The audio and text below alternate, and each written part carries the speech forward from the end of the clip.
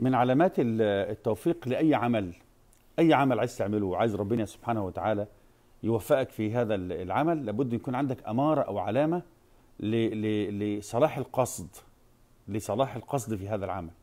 يعني تنوي نية صالحة ربنا عايز إرادتك وعايز نيتك. لذلك قال في سورة التوبة ولو أرادوا الخروج لأعدوا له عدة. إحنا كتير مننا بيدعي أشياء كثيرة جدا جدا. بتدعي حب النبي بتدعي إنك بتصلي بتدعي إنك صالح بتدعي. ولكن لكل قول دلالة.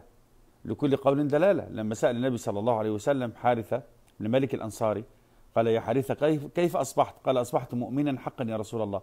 قال لكل قول دلالة فما دلالة قولك؟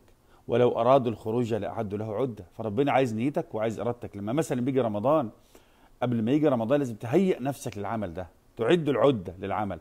راح تصلي تتوضى من قبل وتقوم وتجهز وتحط في النية والإرادة إنك راح تصلي أو تعمل أي عمل لابد إن أنت تصحح النية والإرادة. ربنا عايز النية إنما الأعمال إيه؟ بالنيات. الموضوع مش كلام يا جماعة. ولو أرادوا الخروج لأعدوا له عدة. أنت بتصليش ليه؟ آه ما ربنا يهديك لا آه لو أردت لأعددت ما بتزكيش ليه؟ كذا بتعملش خير ليه؟ بيكوز ويقعد مليون ألف بتاع. ولكن ولو أرادوا الخروج لأعدوا له عدة.